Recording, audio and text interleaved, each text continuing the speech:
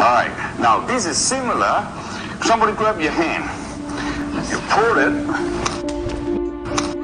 哦，是吧？是吧？很快哦。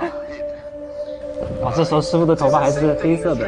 你认识这个师傅？对，就就是这个。哦，真的吗？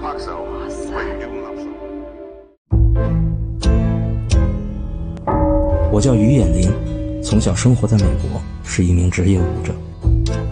我对中国传统文化充满了好奇。尤其是功夫。我开始的时候是看了成龙的《醉拳》那个电影，感觉我的舞蹈风格和功夫挺搭的。他的一招一式，总能给我的编舞带来灵感。我和身边的美国朋友都觉得，在中国，每个人可能都会功夫。我之前有去研究太极和传统武术，我特别喜欢咏春，就每个动作是有意义的，还有很多，但是我怕我说错。让我困惑的是，当西方越来越多人热衷于功夫的同时，在中国，传统功夫的实战性却被质疑。假如功夫不能实战，那它的存在的价值是什么？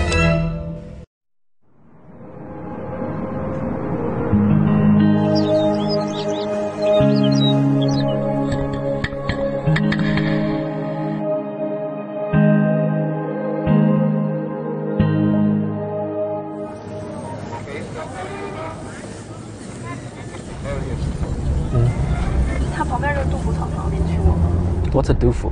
杜甫是中国呃唐代的一个诗人，哦，不了解。床前明月光，我一个吧。然后它有韵律，韵律是什么？韵律就像舞蹈的韵律一样。陈勋奇，他是中国香港功夫电影兴衰的见证人。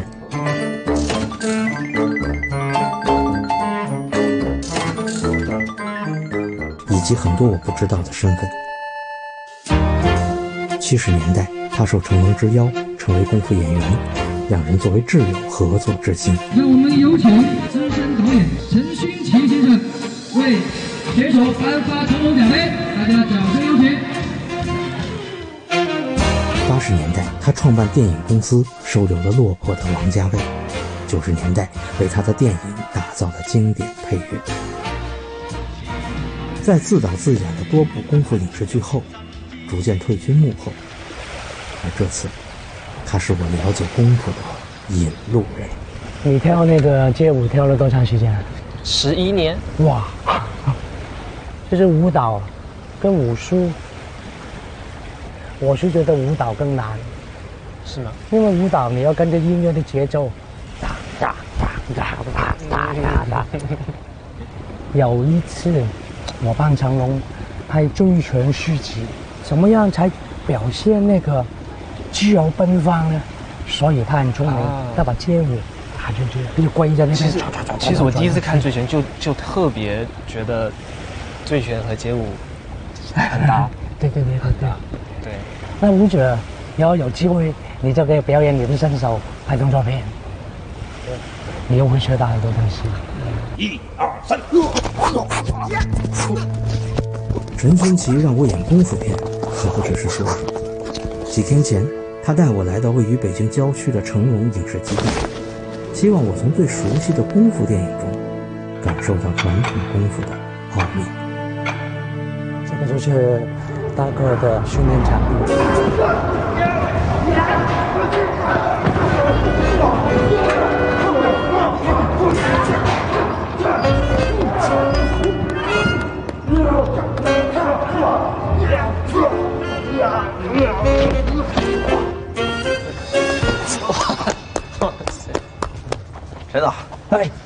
大兄，你来了他叫 Franklin，他是街舞的。啊，你要不要尝试一下威亚吊你的那种感觉啊？不一样的感觉。啊，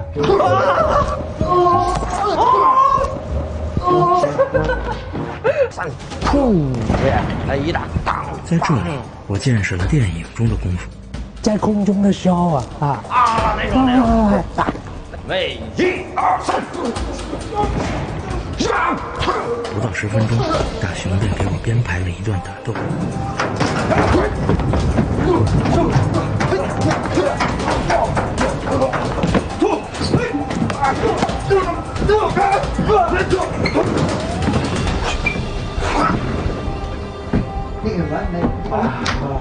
这一刻，我觉得大雄处理功夫更像是我所熟悉的编舞。所以这是你临时安排的。就是刚刚刚编的，刚刚想的。这让我多少有些失望。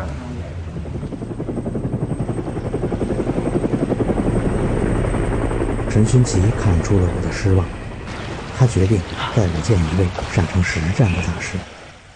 我待会呢就介绍一个李小龙的师弟，真正能打的那个咏春，徐建咏春的高手，不可能有第二个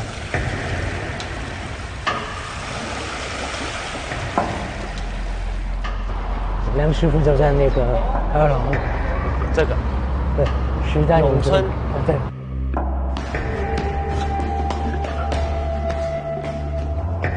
梁少红师傅是咏春宗师叶问的亲传弟子，韦小龙的师弟。梁师傅，你好。你好，你好，这个帅哥叫 Frank，Hi Frank，幸会幸会，你是美国回来的是吧？对，梁师傅在美国也是几十年了。四十多年了。当我迫不及待地想要见识真功夫时，他却说打人很疼，他擅长的是挨打。当脚，我基本上所有练功夫都是练，首先不让人家打到，打人的不学不用学功夫的，不让人人家打到才是真功夫。要是我挡着你，你只有两个方法打我，他拉下了，就是打我，大力一点打，对吧？哎，他打我，我挡挡不了。嗯我靠眼睛去看，没用。他拉我，他打，大力，对吧？呃，我不用力了，我又不用看。好，他拉我以后这边打，对啊，对吧？要拉只有这里打到吧，他不会打这里吧？嗯，拉我就开胃了，我就让你打我，我都因为我不知道啊，你给个机会你，我就明示你这样打的，因为你只有这个方法，只有这个位置可以打我，打我。他这个手一大力派，我就意大利打他。咏春是不兜力的，就是摇摇板一样，你攻接你，我就接你打你；你攻接你就接你打你。本来他是主攻，嗯，现在呢，我是被动，还比他快一点点。现在咏春，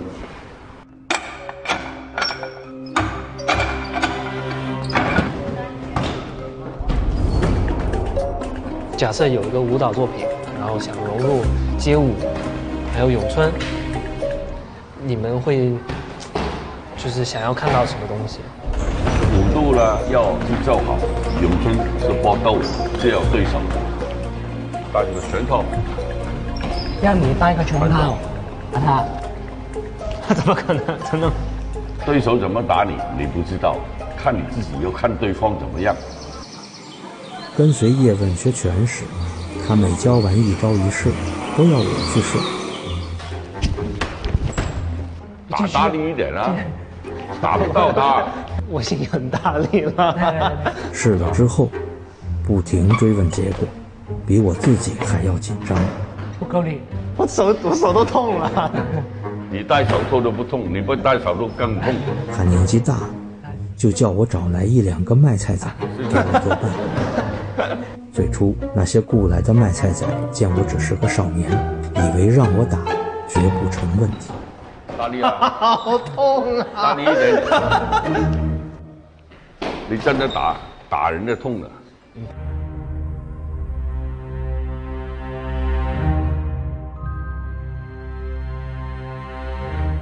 徐军咏春为什么用这个名字呢？啊，四十多年前我去美国的时候，好多人都对李小龙好有兴趣，有没有见过他？后来他死了，但是人家想知道李小龙是怎么样的，咏春是怎么样的，他好奇。What's this that's so practical, so fast, so direct? And then, of course, that's the one I chose. It's like a one wing chun. 外国人呢，就跟中国人学功夫不同，他比较实在。你做什么，你讲什么，他都会问。为什么？有可能吗？中国人不是。我也看过人的表演，哇，噗，人都飞出去。你想想，有可能吗？他讲个东西，好深奥一样。这个师傅好厉害！你跟他讲实在，他不相信你。初到美国的梁少红便意识到，如果想在这里推广咏春，实战性是很重要的。我教徒弟一样，我说什么你不能相信，你怎么知道真的假的？你试试看呢。打到。通过实践追求功夫的真理，梁少红的咏春被外界称作。实践演出。OK。大亏心，言字潮水。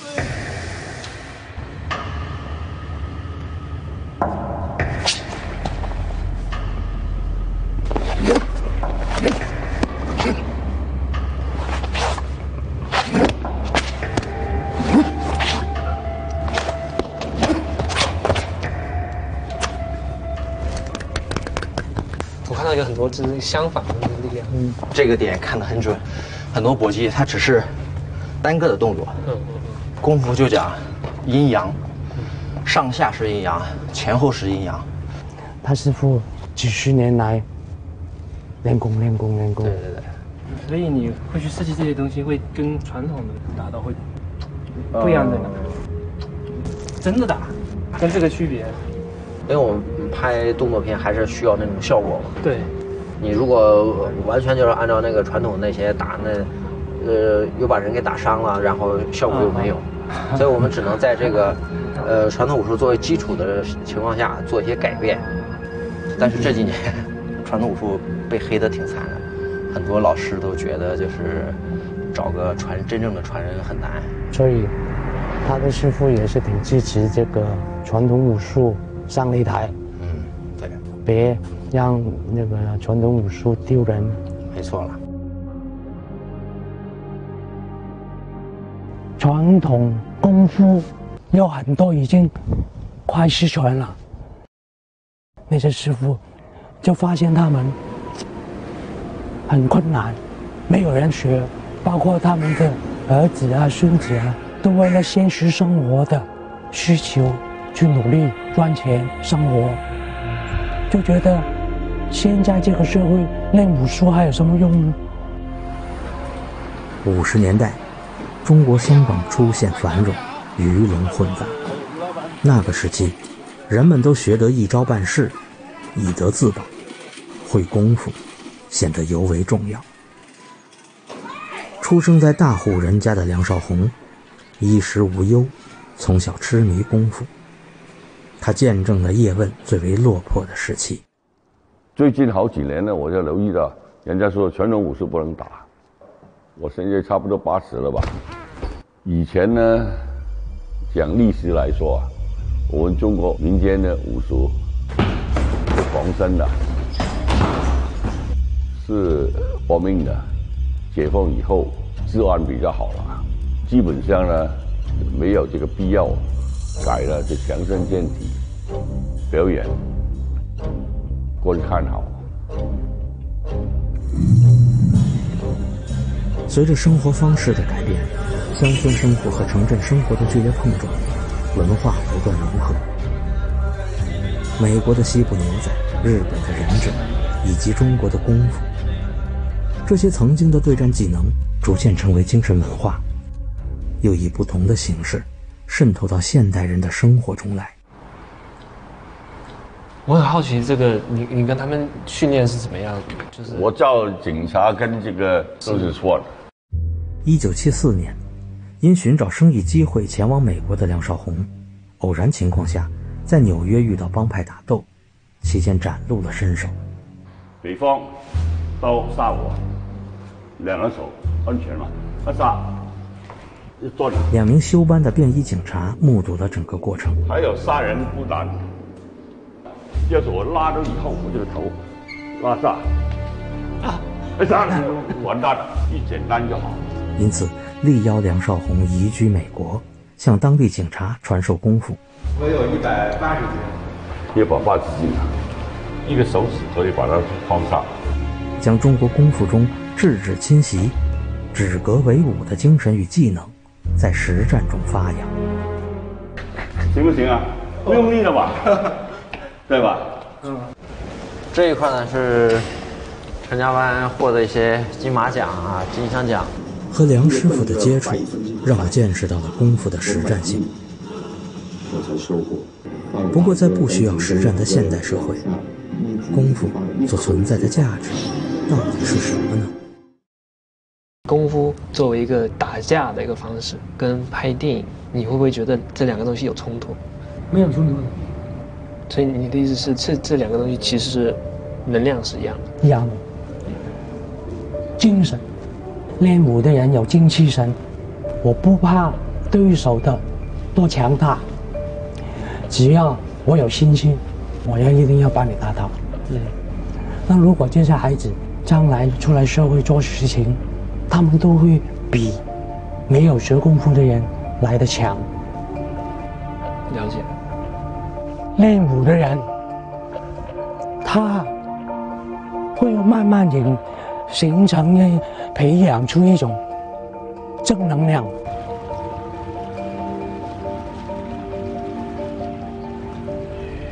因为每一个师傅都教徒弟，不要做坏事。不能好勇斗狠，就是儒家思想传承，以礼始，以礼终。以礼始，以礼终，在功夫的一招一式背后，是中国人对礼的尊崇与向往。体现在习武之人身上，就是那种不畏艰难、勇于进取的精神，还有被称为气节的信念。叶问最令我钦佩的，就是君子固穷的气节。他三餐不济，虽然无奈，但没有半句怨言。尽管穷，但仪容从来干净端正。尽管天气热，他从未解开半颗纽扣，更从未像其他人一样示弱。这一切，显示出了一派令人敬仰的儒者风范。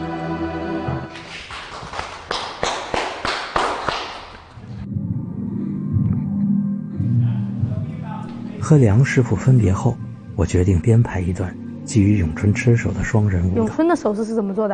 然后把你拉下来，你这个左手就往上，大概这个意思。啊，这咏春的那种质感，但是是我们的舞蹈的。将我所理解的理，通过舞蹈来传达。然后四，四，五六七八，一。梁师傅和陈勋奇告诉我，在理的背后还有一个“理”字。好多事情都是一理通百理明，每一件事都有一个背后的一个理论的。嗯，真正学功夫呢，不是靠胆量，要学个什么心法？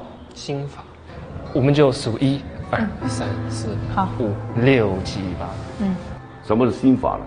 牙丹切割，自行切。谁教你的时候就告诉你怎么怎么切，怎么用力，怎么样不不停的动，你通通都懂了。要明白这个理论在哪里啊，你一定掉下来的。都有一天你不掉下来，一次、两次、三次、四次，哎，我不掉下来了，这是心法，对吧？讲不出来的。等下再来一次，一二三四，这怎么样？可以。然后。我的右手往下，你的左手可以跟我的一左手。有理之理，才是功夫既可实战又可养性的心法所在。哎，我挡你，挡得了吗？哇塞！这打铁好像有点突吧？会不会？没有，永春永春本来就是很快的。我自己也是，就是中国人嘛，啊，但是我很长一段时间就没有接触这种东西。那我觉得大六你要做一个东西，大六，我觉得你的你可以这样。大六，嗯哼，七，哎，这个好。礼与礼，舞与舞，那些曾经和我有些距离的传统文化，三四，如今仿佛这身体的韵律一样，逐渐融入我的内心。从头，走，一、二、三、四、五、六、七、八，一、二、三、四、五、大、六、大、大，哦，大节安排。七、八。我来到这儿就感觉我自己，呃，通过我的朋友，身边的朋友，就更贴近祖国的文化。Five, six, seven, eight, one, two, three, four, five, six, seven, eight, one. This is similar. Somebody grab your. Three, four, five, and six, and seven, eight, one, two, three, four.